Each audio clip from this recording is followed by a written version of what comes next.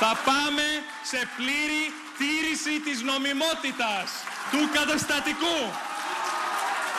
Καταθέστε πρόταση μομφής εναντίον μου, όπως προβλέπει το καταστατικό. Αυτή η οργισμένη αποστροφή του Στέφανου Κασελάκη κατά την παρέμβασή του την πρώτη μέρα της συνεδρίασης της Κεντρικής Επιτροπής πυροδότησε τις ραγδαίες εξελίξεις στο ΣΥΡΙΖΑ μέσα από μια εκρηκτική αλληλουχία γεγονότων. Η ομάδα των 87 σήκωσε το γάντι και κατέθεσε πρόταση μομφής κατά του Προέδρου του ΣΥΡΙΖΑ. Θεωρούμε ότι το κόμμα μας βρίσκεται σε παραταταμένη κρίση ηγεσίας. Τώρα, 100 μέλη της Κεντρικής Επιτροπής καταθέτουμε πρόταση δυσπιστίας στον Πρόεδρο και ζητούμε άμεση προσφυγή στη βάση. Την πρόταση μομφή των 87 στήριξε τελικά ο Παύλος Πολάκης, τον οποίο ο Στέφανος Κασελάκης κατηγόρησε για ομοφοβική στάση με αφορμή την κριτική που του είχε ασκήσει για lifestyle.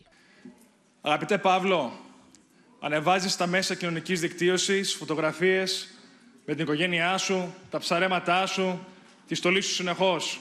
Και καλά κάνεις. Επιλογή σου είναι.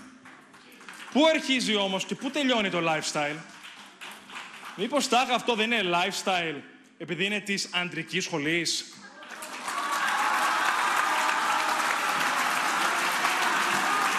Εγώ, φίλε Παύλο, είμαι ο ίδιος και δεν τρέπομαι να κυκλοφορήσω και κάτω από 300 μέτρα και πάνω από 300 μέτρα.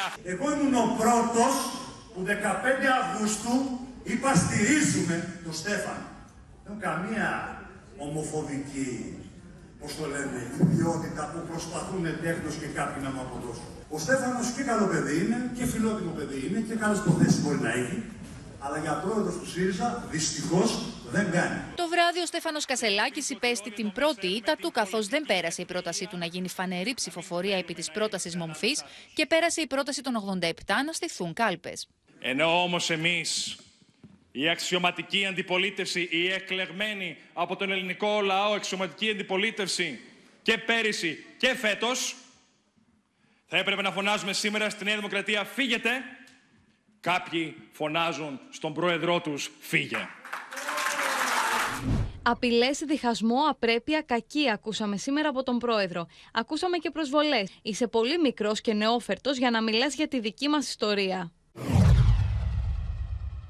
Δεν ήταν λίγες οι φορές χθες που η κατάσταση έμοιαζε ότι θα έβγαινε εκτός ελέγχου, με πολλές στιγμές έντασης ανάμεσα στους υποστηρικτές του Στέφανου Κασελάκη και τα στελέχη των 87, όπως συνέβη στη διάρκεια της παρέμβασης της Κατερίνας Νοτοπούλου. Ποιος θα διαγράψει ποιον σύντροφο; Και σύντροφοι μου, ζάλαζε εμένα και εγώ τον Πολάκη, είμαστε με τα καλά μας. Όλα, όχι, δεν σα Άρα, κάτσε κάτω, Άρα, πετάει στο συνεργείο.